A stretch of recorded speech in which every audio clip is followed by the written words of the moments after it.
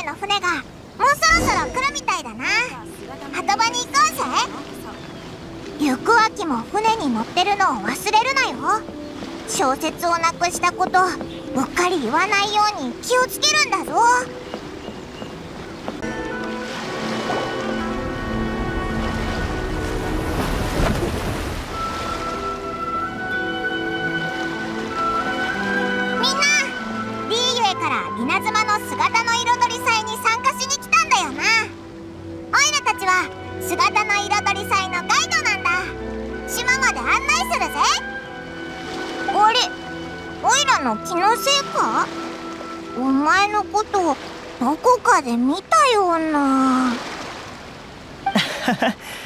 気のせいじゃありません。私は飛雲商会の阿局です。この船には書道家以外にも画家や機関機関の騎士も乗っているんですよ。以前機関機関の発明者が飛雲商会まで投資の話を持ちかけてきたんです。旦那様は興味を示さなかったのですが坊ちゃまの方は支援したいとおっしゃっていました。聞いたところによると姿の彩り祭でも機関機関の展示とお試しがあるそうで。旦那様から坊ちゃまと一緒に稲妻でこの製品の将来性を確認してきてほしいと頼まれたのです。じゃあその坊ちゃまはどこにいるんだ？坊ちゃまは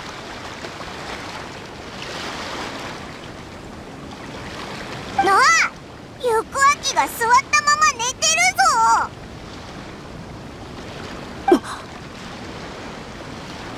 おや旅人にパイモン。君たちも稲妻を訪れてきたのかい？どうやら僕たち本当に縁があるようだね。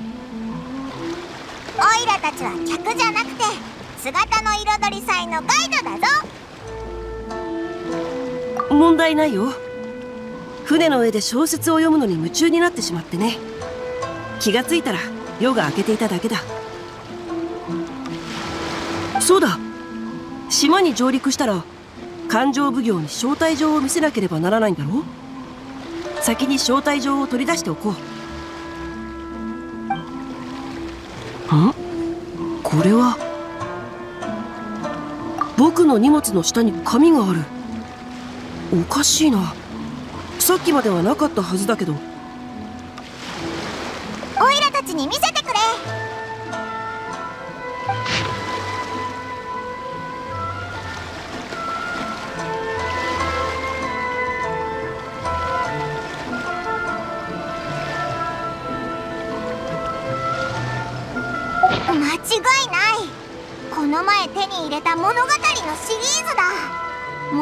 筆跡まで全く同じだぞ。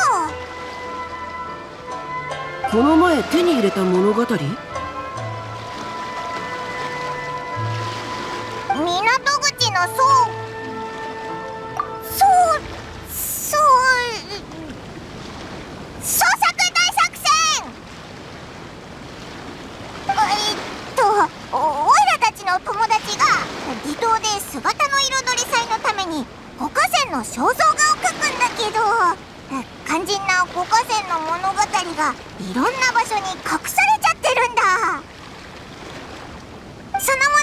を見つけてそいつに渡せばモデルとして絵の中に描いてもらえるかもしれない。待てよ。それって。ででもこの一瞬で他に思いつかなかったんだ。それってまさか白亜先生に会えるということかいえっ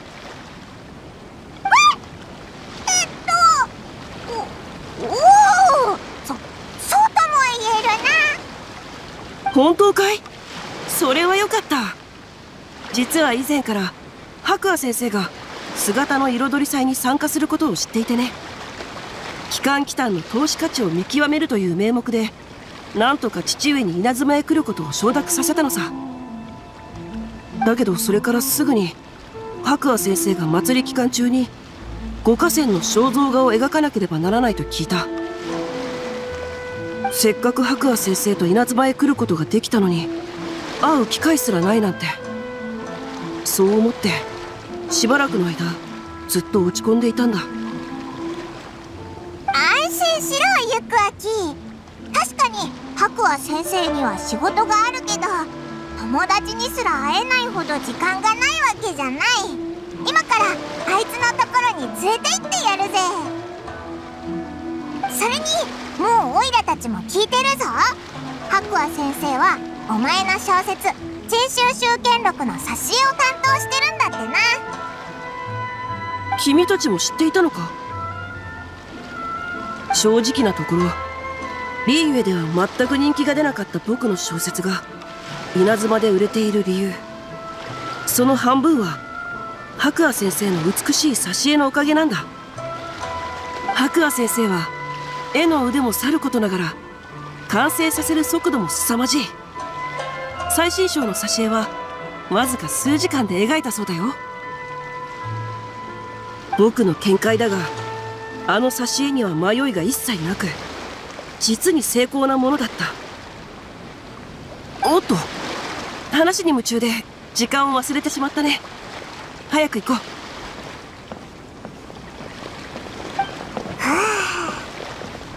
ルベドのおかげで行く秋の注意をそらせたな。気づかれなくて済んだぜ。アルベドに会ってもボロが出ないといいんだけど。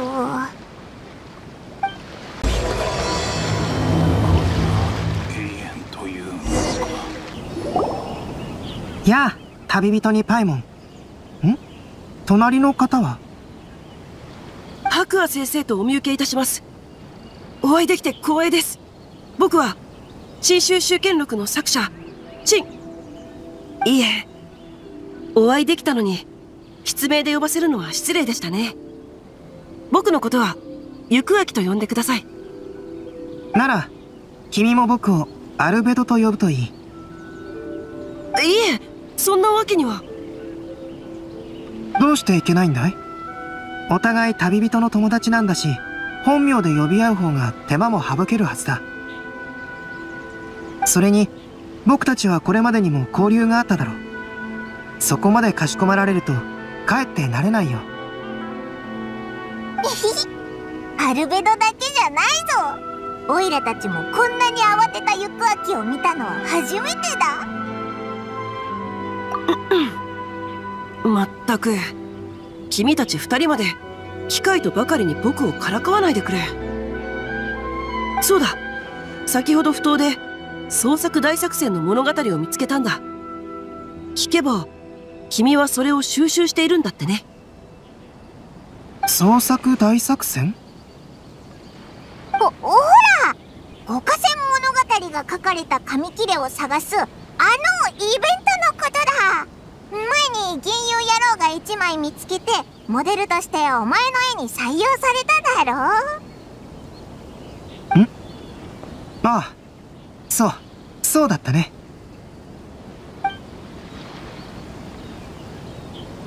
物語は大体把握したよ。ありがとう。大助かりだ。それならよかった。だけどこの物語全く筋が通っていないように見えるどういうことなのか詳しく教えてくれないか？もしみんな時間があるならどこかで食事でもしながら話そうか。うそれは。あゆくあきは何か用事があるのか？いやなんでもない。食事といえば志村屋の裏茶漬けがとても美味しいんだ。そこへ行くのはどうだい？志村屋か。だけど今日は風が強いからね。右遊亭でもいいかい？ああ僕は荷物を置いてくるから。後で右遊亭で会おう。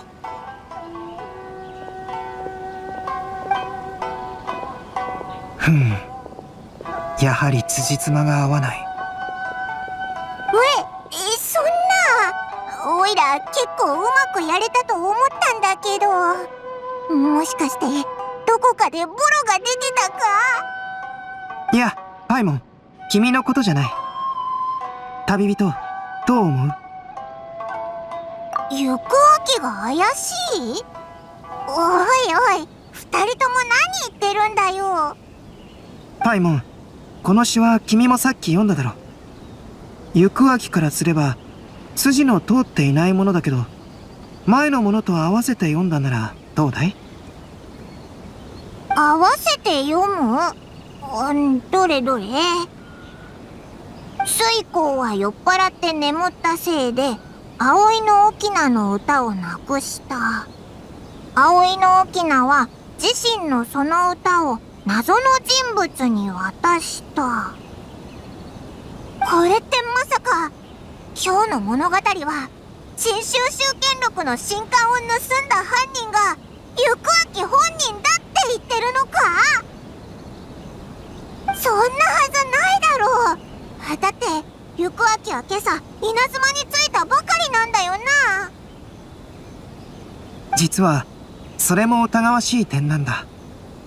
行く秋がついさっき稲妻に到着したのならなぜ志村屋のお茶漬けの味を知っていたんだい？それに僕が風が強いことを理由に場所を変えた時彼は何の疑問も抱かなかった。まるで志村屋が屋台であることを知っていたかのようにね。それってつまり本当はもっと前に行く秋は稲妻に到着してたのに着いたばかりのふりをしてたってことか？ああ僕はそう考えている行く秋が犯人なわけないよな。行く秋の夢は義教心ある人になることなんだ。人助けはしても仁義に背くことは絶対にやらないはずだぞ。落ち着くんだパイモン。僕は行く秋と初めて会ったが以前から手紙で交流していたからね。彼の人柄についても理解しているつもりだよ。きっと事情があるんだろう。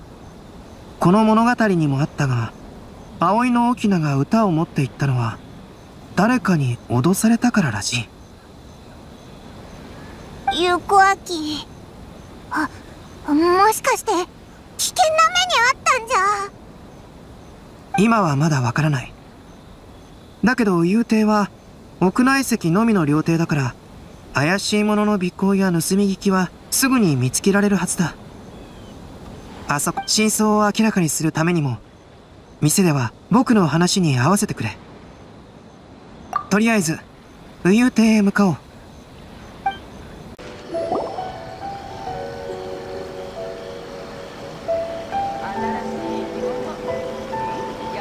周囲に怪しい人物は見当たらないね。店の中で行く秋を待とうか。どうしよう。おいらすっごく緊張してきたぞ。行く秋とどう話せばいいんだ？まず行く秋が本当に他の人たちより早く現地入りしていたのかどうか確認しよう。もし彼が嘘をついている確たる証拠が見つかればそれを突破口に真実を言わせられるだろう。彼が来ないうちにまずは店にいる客と話してみるのはどうかな。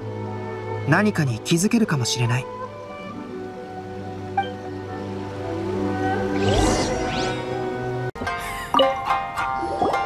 アルベド後で何を話せばいいか考えはあるか？僕は小説と挿絵の創作について行く秋と話すつもりだよ。もし彼が本当に何かを隠しているならきっと僕たちよりも緊張しているはずだ。創作について話せば彼の警戒を解くことができるかもしれない。そういえば行く秋が短い時間で全く迷いのない挿絵を完成させてくれたお前に感謝したいって言ってたぞ。本当にそう言っていたのかい？ふん。それはまたとても価値のある情報だね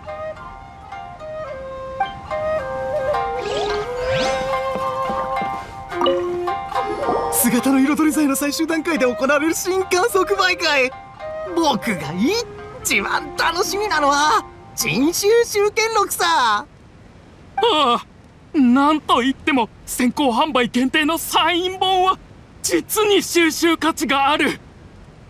以前も陳玉先生のサインを見たことがあるけどとても整った字で真面目なお人柄が垣間見えたよ即売会当日は先生も現地にいらっしゃるみたいだからその時にお姿を拝見できるはずだ。噂によるとすごく若いらしいぞ。ああおいらの聞き間違いじゃないよな。行く秋が新刊にサインする上に字がとても整ってる。だって？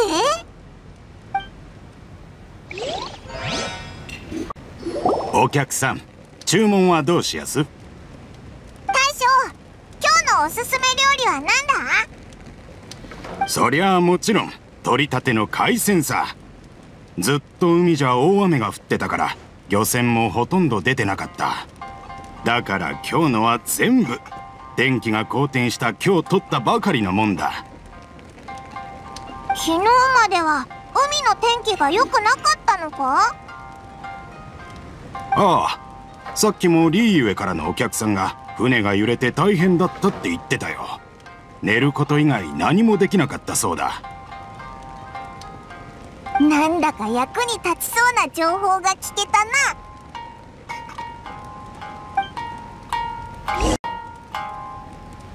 実に美味しかった。稲妻の料理は新鮮な海の幸が中心でとても好みだ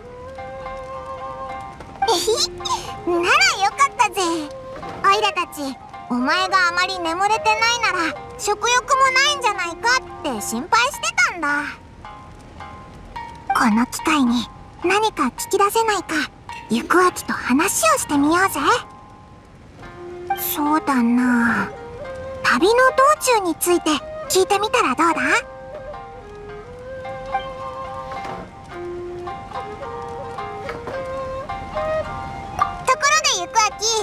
旅の途中何の本を読んでたんだああお願い私の千古宮司という小説だよ担当から送られてきたんだ船で本を読むなんて船酔いしなかったのか僕はコカ派の技を得得しているから平気さでも確かに船酔いしていた人は少なくなかったねうー。ん特に疑わしいところはなかったな。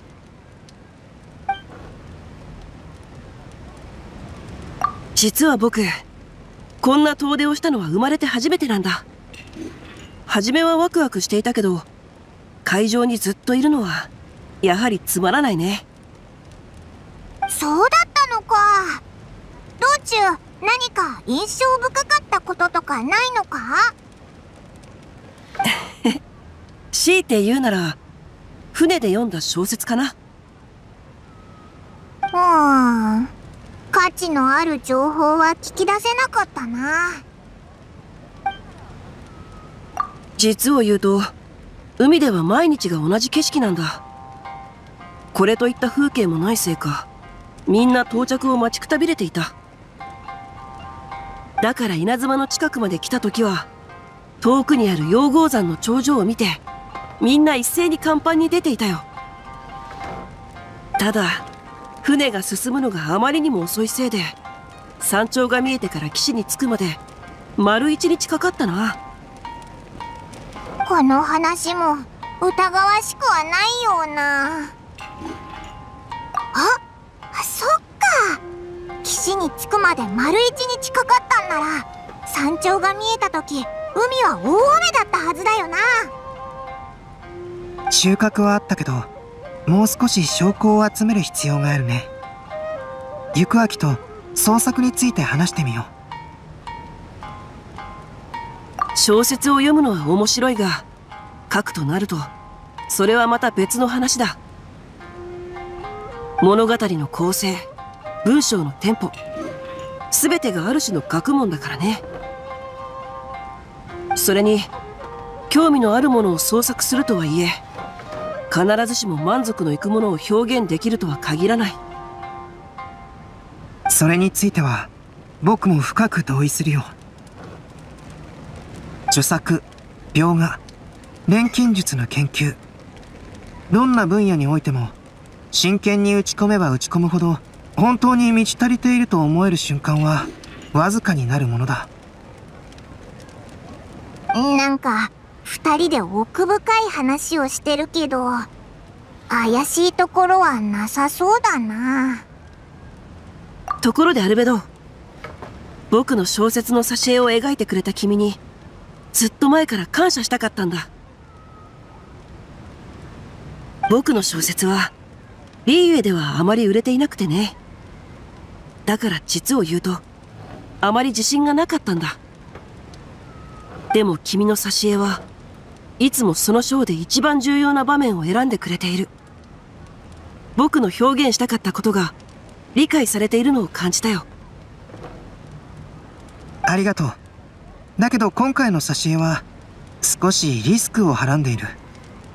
実を言うと僕も少し不安なんだ。娯楽小説の挿絵はキャラクターを描くのが主流だけど今回の最終章では他のものを描いたんだ。だけどあのシーンは世界の変化を見せるものだ。背景だけを描くというのはとても合っていたと思うよ。怪しいところは何もなかったな。いや行く秋は今確かにほころびを見せたよ僕の挿絵は稲妻に届いてすぐに印刷されたはずだから行く秋は本当なら見たことがないはずだ。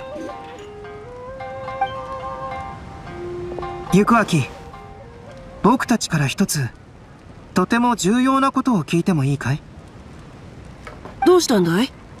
二人とも改まって。ん？それは一体何のことだい？ゆくあき実はオイラたち天使から聞いたんだけど昨日までは海の天気が良くなかったみたいなんだ。だからお前がさっき言った溶合山を見たらみんな甲板に出たって話はありえないんだ。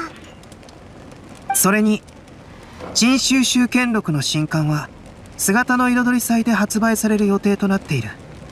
作者である僕たちですらまだサンプルをもらっていないのに一体どうして挿絵の詳細を知っていたんだい？ゆくあきお前。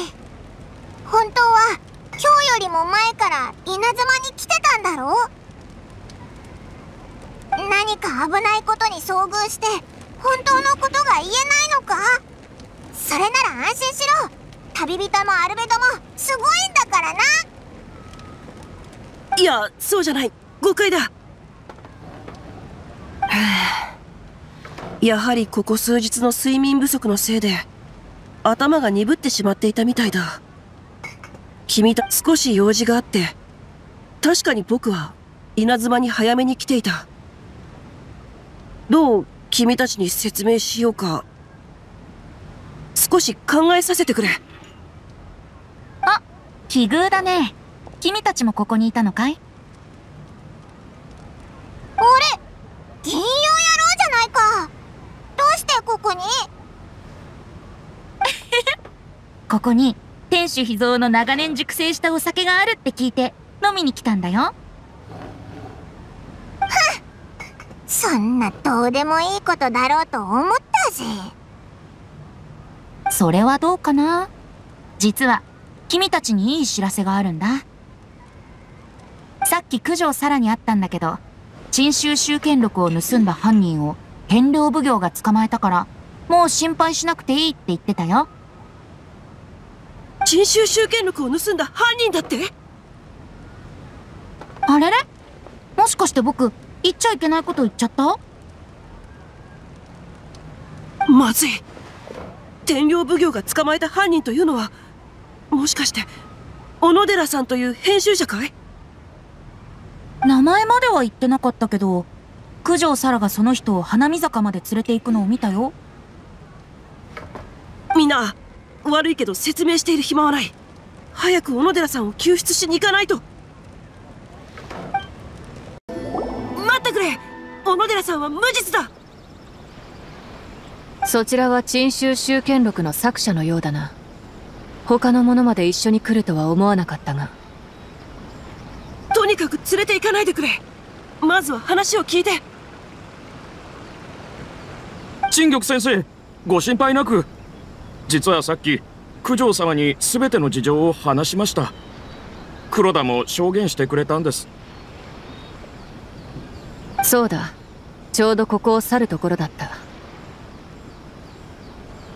はあよかった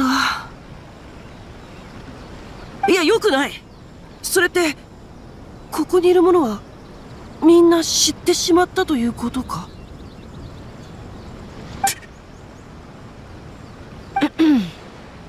正確に言えば犯人逃亡を防ぐために配備していたもう二正体の人員もな。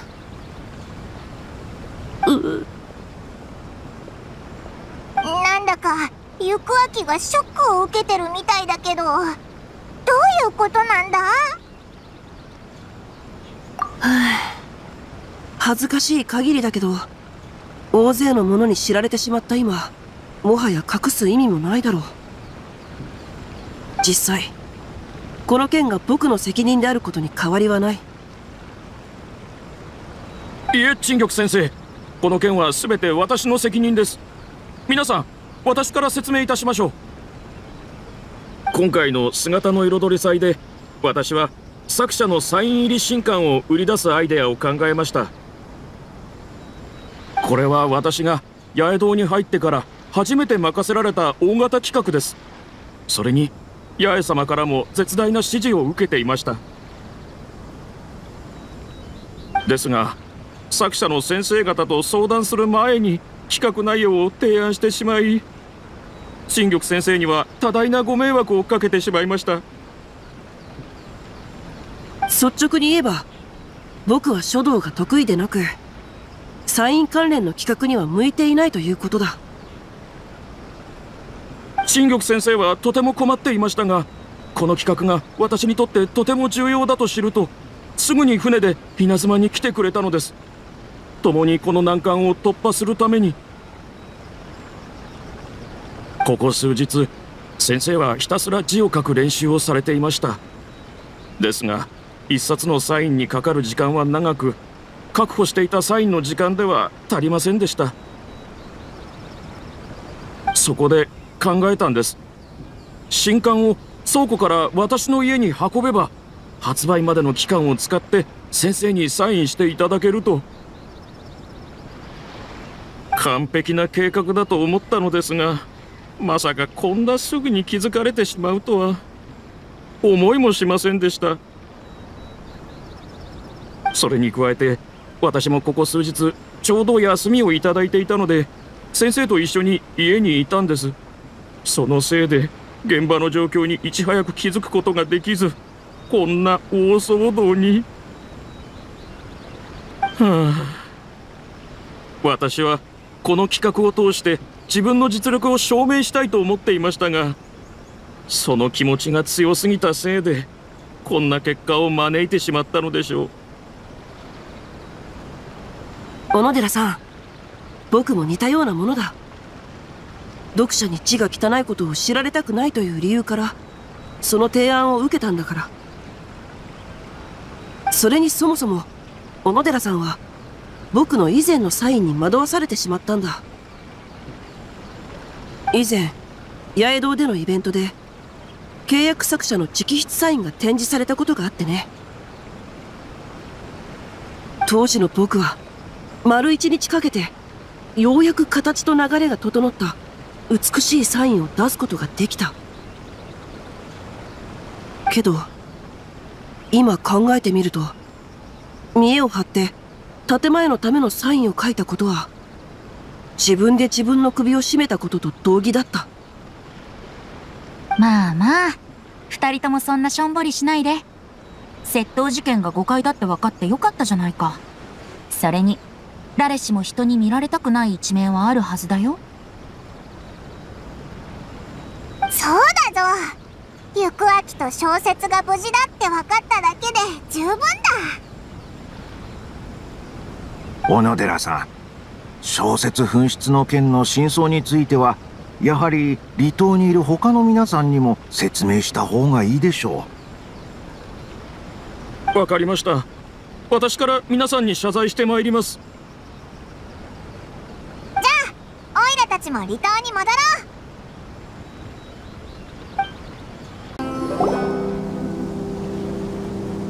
う。おや小野寺さん。どうしてここへ？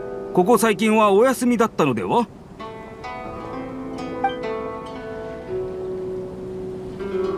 本当にすみません。皆さんにご迷惑をおかけしてしまいました。はあまったくあなたは。どうしてもっと早くそれを言わなかったのですか？みんな知っていれば一緒に方法を考えてあげられたはずです。そうよみんなで一つのチームなんだから。困った時はお互い様でしょ？まあ今はそれよりも陳玉先生のサインについて解決する方が重要です。先生そちらの進捗はどのような状況でしょう？実はあまり楽観的ではいられない。ここ数日夜通しで作業して約10分の1しかできていないんだどうりでずっと行くわけは眠たそうにしてたんだな。わかりました。村田さん後で八重堂に戻って新谷さんを呼び右遊亭2階の部屋を貸し切ってください。陳玉先生の書道特訓用に使います。はい。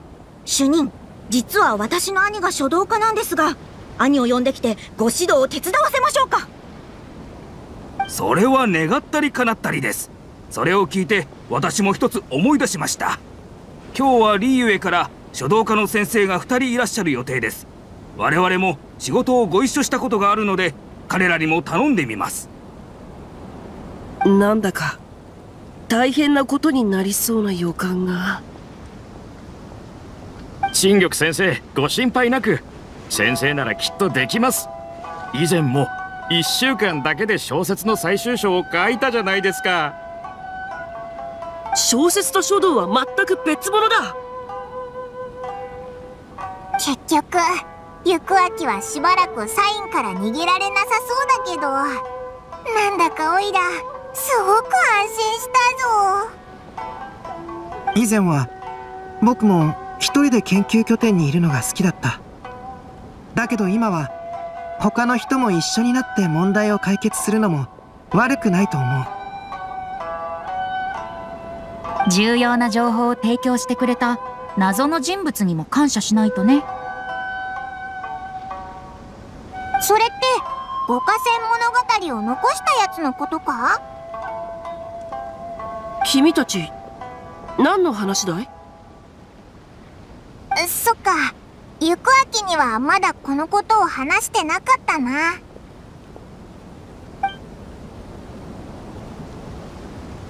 なるほどとなると僕と小野寺さんが小説を運んでいたところを誰かに見られていたことになるね。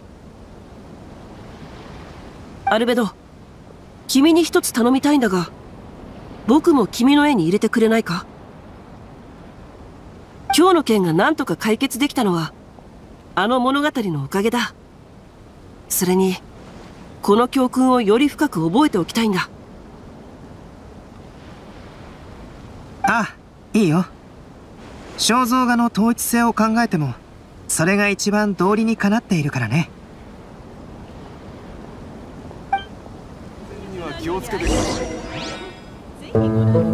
その影こそ葵の翁全ては素性の知れぬ者の目論み。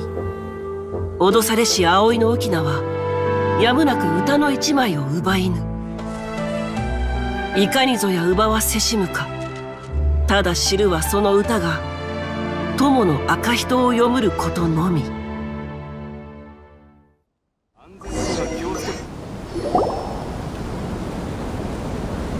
アルベドって本当にすごいよな。葵の翁の肖像画をもう完成させるなんて。行く秋は右遊亭で特訓してるみたいだけど一体どうなったんだろうな。あの物語を残したやつってもしかして近くに潜んでるんじゃないか？おーい！物語を書いた人近くにいるのか？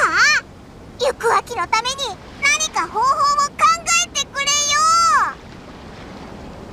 行く秋はオイラたちの友達で今回の新刊即売会は行く秋にとってすごく大事なことなんだ。お何の音だ？猫か。ふうやっぱり簡単には現れてくれないよな。もう遅くなってきたしオイラたちも帰って休もうぜ。明日の朝また港口で船を迎えなきゃいけないしな。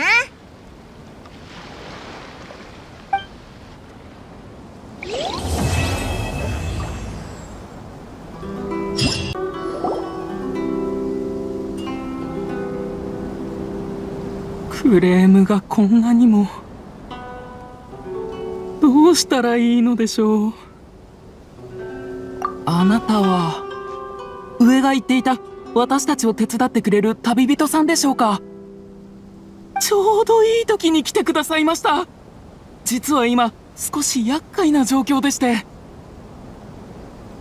ご存知の通り現在ここでは姿の彩り祭が開かれています。姿の彩り祭では商品の展示即売以外にも無料で楽しめる娯楽がいろいろと用意されています。ですが本日それに関するクレームがたくさん入ってきたのです。ある集団がタヌキの顔出し看板を占拠していると。その集団はずっとそこを占拠しているようで他の方が利用できなくなってしまっているんです。はあ本当に困りました。もちろん交渉に行きました。ただこれらの設備はもともと皆さんに展示会を楽しんでもらうために設置したもの。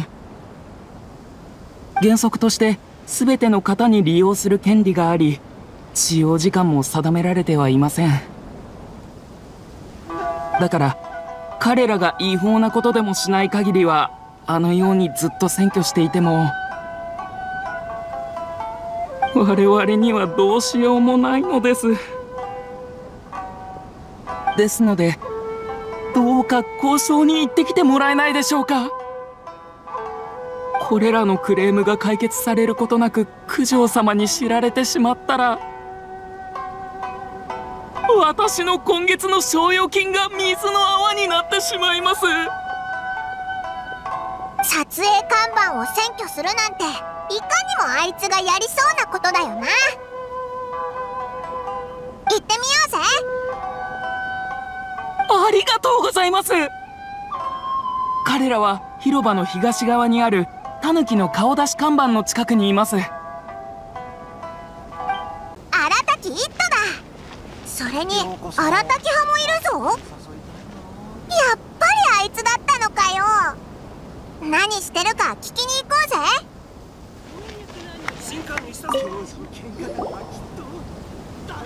ぜ。よう旅人。バイモン元気にしてたか？お前たちも姿の彩り祭に来てたのか？気が合うじゃねえか。やっぱり俺の目に狂いはなかったみてえだな。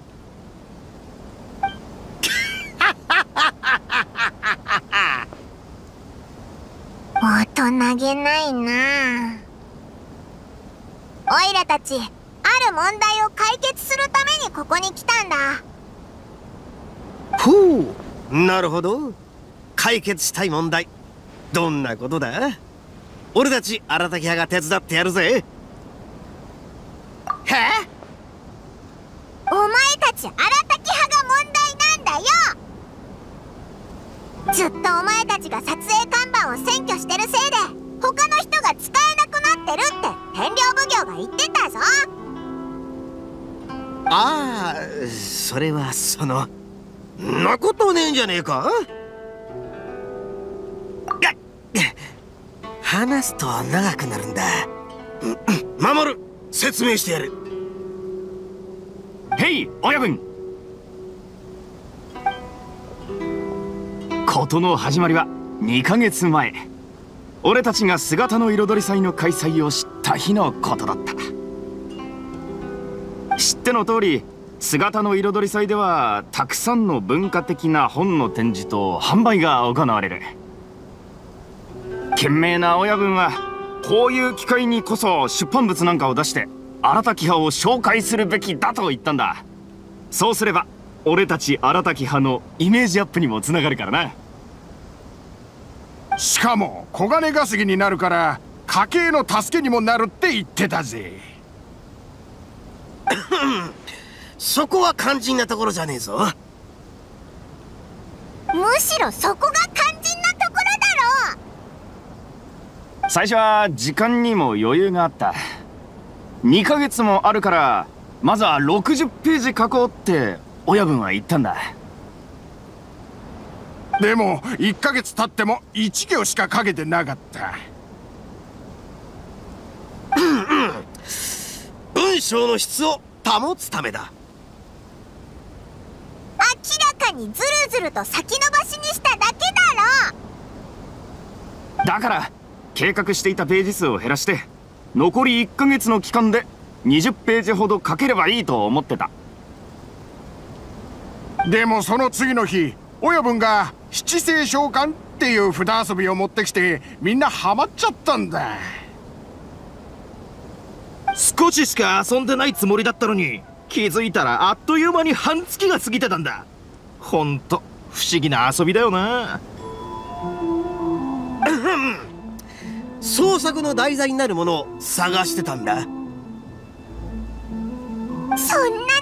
荒滝派の宣伝と何も関係ないだろ。とにかくあと2週間しかなけりゃ出版物はもう間に合わねえだから親分がいっそのこと宣伝用の色付きページにしようって決めたんだ。そうすれば決まり文句だけ考えればいいからなそれだったらできそうだな。決まり文句ならすぐに思いつくだろ？そりゃあもう早かったさ。半日だけで30個も思いついたぜ。だけど候補が多すぎたせいで意見が分かれて結局1週間経った頃にようやく決まった。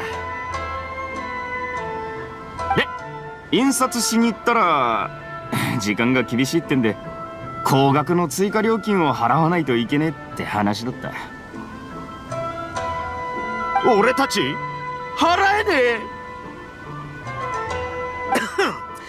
物事は手間をかけた分だけ出来栄えが良くなるんだよ。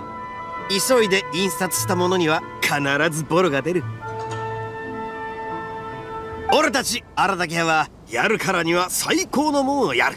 それが今回諦めた理由だ。おうよ。鬼でも人間でも一番大事なのは楽しいことだ。せっかくの祭りなんだから。やらうども連れて楽しんだ方がマシだろう。でその楽しみ方っていうのがこうやって顔出し看板を占拠することなのか？いや最初は飲み物を買うために親分が連れてきてくれたんだ。祭り限定のやつがあるって聞いてな。そうだ！しかも普通の飲み物なんかじゃねえぜ。セーリングブリーズ商店と八重堂が共同で開発したあの人気小説お願い。私の戦国宇治に登場した飲み物さでも祭りに来たら俺たちの格好が個性的すぎるってんで係の人に止められた。元の格好に戻ってからじゃないと入れられねえって。あんだけ大金かけて苦労して手がけたのにあいつら街の景色に影響を及ぼすとか言いやがったんだ。とにかくそんなこんなでセーリングブリーズの屋台に行った時にはもうその飲み物は売り切れてた。悔しかったがどうしようもできなかった。でも帰り道にこの顔出し看板を見て親分がせっかくだからって。それでここを占拠してるのか？公共の設備に選挙も何もねえだろ。これは公共資源の有効活用ってんだ。よ親分の言う通りだぜ。この顔出し看板を存分に輝かせてやろうぜこいつを俺たち荒滝派と同じ生き様にさせてやる。1分1秒たりとも無駄にしちゃならねうわ崇高そうに聞こえるけど。学校に金をかけすぎてもう飲み物一杯分の金しかないんだぜ。本を買うには全く足りねえ。だとしてもお金がってこの無料の看板を占拠するのはダメだろ？他の人が使えなくなっちゃうじゃないか。まあそういう意見も道理に合わなくはないな。じゃあ早く出ろよ！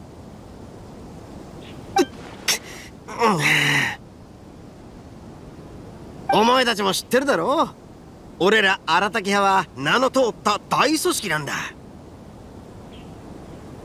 この撮影看板を輝かせると決めたからには絶対にやり遂げなきゃならねえ。適当な気持ちで計画を諦めるなんざ筋が通らねえ。なもんは荒滝派の威信に傷をつけちまう。だがもし俺たち荒滝派のやり方でこのことを解決できるんなら何も問題はねえ。荒滝派のやり方。おいら嫌な予感がしてきたぞ。だからよ。この俺様荒滝天下第一ヒットと熱く燃える豪快な決闘をしようぜ。お前たちが勝ったらこの看板を譲ってやんよ。虫相撲こそ最適な方法。最近超強えオニカブトムシを捕まえたんだ。俺様はそいつを暗黒悪魔と名付けた。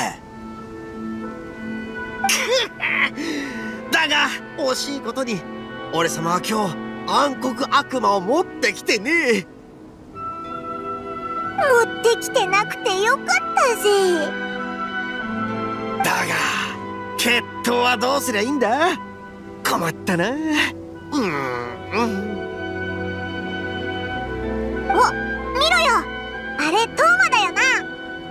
つも祭りに来てたのか。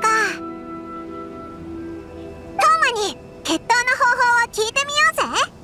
トーマならきっと考えがあるはずだ。トーマトーマこっちこっち。あ旅人パイモン。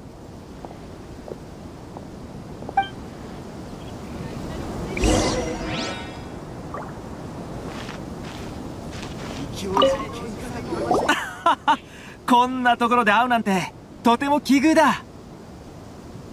展示会でタヌキの顔出し看板がすごく好きな人物が現れたって聞いてね。何しろ俺たちシャブ業が主催する祭りなんだからそんな人物がいるなら会っておくべきだろ。その赤い角俺の目に間違いなければかの有名な荒滝派の長荒滝一斗殿ではやっぱトーマのあんちゃんは見る目があるぜ。上里家の無敵騎士。俺様も以前からお前のことは聞いてたぜ。はじめまして。一斗殿は実に褒め上手なお方だ。おおこの二人もう意気投合してるぞ。まさか一斗殿と旅人がここにいたとはね。俺もギリギリ地元民と言えるだろう。何か困ったことでもあるのかい？遠慮しないで。何でも言ってくれ。イットのことだ。こいつが。なんてことねえよ。俺たちはただ決闘の方法について話し合ってただけだ。ほう。決闘の方法ねそれなら一つ提案がある。姿の彩り祭での決闘なら奉仕活動対決にしてみないか？共に姿の彩り祭を盛り上げるんだ。どうかな？奉仕活動対決。聞いた限りじゃ全く荒滝派の合議とは関係なさそうだが。点数で言うと2点しかやれねえな。1点は旅人。もう1点はトーマのあんちゃんのメンツのためだ。ちなみに親分の満点は100点っす うん。確かにこの仕事には豪快さは必要ない。必要なのは忍耐と奉仕の気持ちだけだ。それに奉仕活動だからこれといった報酬もない。唯一セーリングブリーズの作品提携ドリンクが差し入れとして配られるのみ。確かに荒滝派の対面にはふさわしくないかな。少し考えが足りなかったよ。おい待て。今何の差し入れだって？お？八重堂とセーリングブリーズが共同で出した特別な飲み物だ。特に言うほどのことでもないが。親分あの飲み物だ!これをやればあの飲み物がトーマのあんちゃん。お前は知らないかもしれねえが俺様が言った2点。実は2点満点中の2点だ。なんせ俺たち荒滝屋は忍耐と奉仕でできてるんだからなお前の考え全く豪快で熱く燃えるような案だ。まるで俺様のために作られたみたいだぜ。旅人これで決闘しようぜ。先に奉仕活動を終わらせた方が勝ちだ。どうだ？さっきまで興味なかったくせに。この俺様新たき鉄血第一とは曲がった人生をたどってきちゃいね決闘やるって言ったからにはやるんだよ。目当てが飲み物だって。他の人に知られたくないだけだろ。だったら俺が審判を務めるよ。奉仕活動の仕事はとても簡単だ祭りで手伝いを求めてる人を助けてあげてくれ。届いた仕事の依頼を君たちにも配っておくよ。準備ができたら始めようか。どれ一つ目の仕事は忙しい屋台主の手伝いみたいだな。屋台はこの近くにあるみたいだぞ。奉仕活動の人かちょうどいい時に来てくれたな。見ての通り屋台の周りに落ち葉や埃が溜まってしまっていてな。何度も掃除しようとしたんだがここ数日お客さんが多すぎて掃除する時間がなかったんだ。悪いが掃除を手伝ってくれるか。感謝するぜ。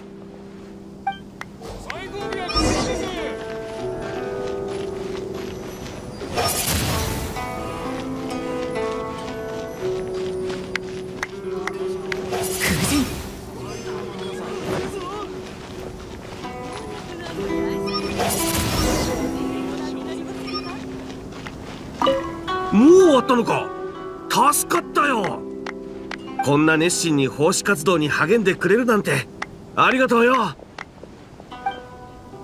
これ次の仕事は祭りのお客さんの手伝いだ。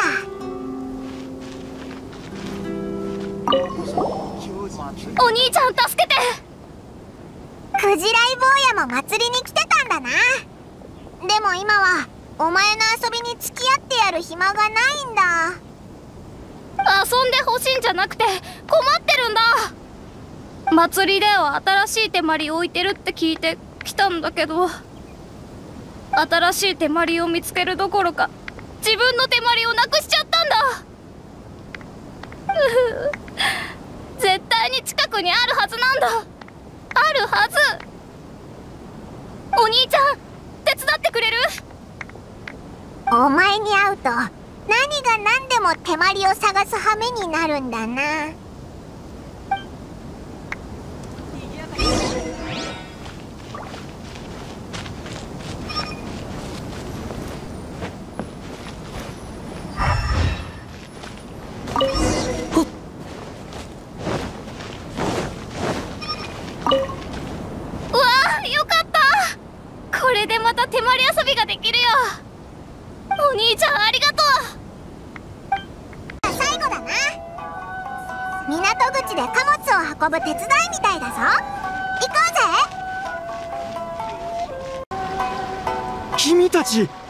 祭りで奉仕活動をしてくれてる人だよね。よかった。この貨物をどうしようか困ってたところなんだ。最近はすごく忙しいから港口にいる仲間たちも来られなくてね。中は新鮮な豆乳だから今すぐ倉庫に送り届けないといけないんだ。外に置いとくとすぐに品質が下がってしまう。悪いけど倉庫まで届けてくれるかい？同僚の竹内が向こうで待ってるはずだ。よろしく頼むよ。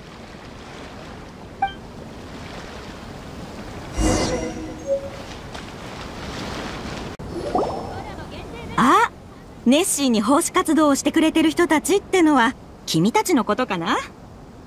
疲れたでしょ？貨物を置いたらゆっくり休んでいって。シャブ業がセーリングブリーズに頼んで君たちにお礼として飲み物を用意してるらしいわ。実はこの豆乳もその原材料の一部なのよ。毎日新しいのを作ってるからとっても新鮮。そういえばさっき加工したての豆乳がそっちに届けられたからあと少しで君たちも飲めるはずよ。うえセーリングブリーズの特製ドリンクの中には豆乳が入ってるのか？イットのやつ豆製品は飲んじゃいけないはずだぞ。早くセーリングブリーズに行かないと。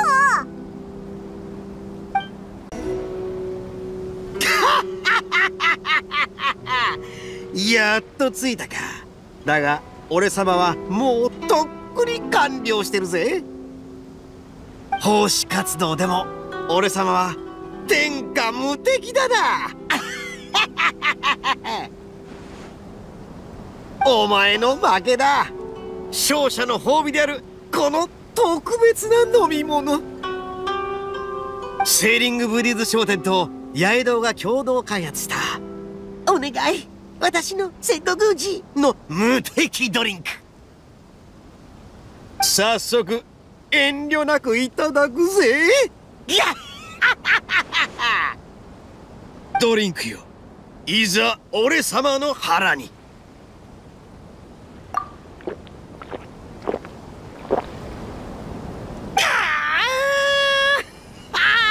うまい。うまい。いや確かにうまいがんんなんかおかしい。親分その飲み物。豆が入ってるらしい。はあ？